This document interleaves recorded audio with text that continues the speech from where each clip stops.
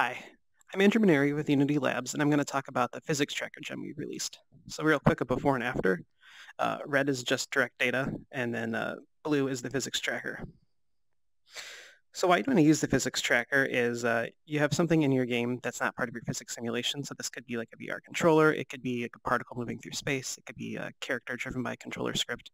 And you want to have data like velocity and acceleration. Uh, and you want to hit three points. You want to have data that's uh, really smooth, uh, you want it to be snappy, so if I'm moving my controller around, it's getting that direction change right away. And also you want to capture the user's intention. So if I'm moving my controller back and forth, I'm getting a nice clear axis of motion here. With the direct data, it's just pretty noisy. It's kind of bouncing all over the place. Uh, and the way we accomplish this is by treating this as two separate problems. So one is getting direction. So again, red is just doing it direct frame by frame, and then blue is our technique. And then the other one is getting the magnitude of motion, doing back and forth. You can see there's lots of little like pops and spikes in the direct data. Uh, because we're treating these two problems separately, it's very easy to do a smoothing and prediction step, and that's how we get it to be smooth and snappy without being laggy. And then when we combine them together, we get our nice physics data.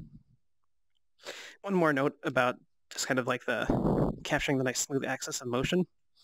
Uh, this is really important for throwing objects because you want it to have if I try to throw with this, the position can change so much that you're going to have objects that veer off in this direction and that direction.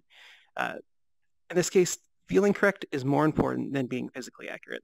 Yeah, and uh, the physics tracker can be applied to anything in your scene. All you need is position changes. So this can follow like uh, pointed and end up a baseball bat. This can follow particles moving through the air, anything you want. Uh, and to use the physics tracker, uh, you can find it at the Unity Labs GitHub at the URL uh, shown below. Thank you.